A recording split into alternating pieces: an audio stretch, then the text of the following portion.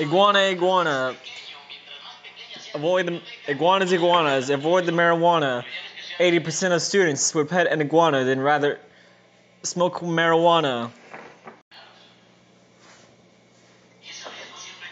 Iguana, iguana.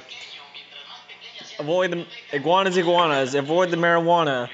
80% of students would pet an iguana than rather smoke marijuana.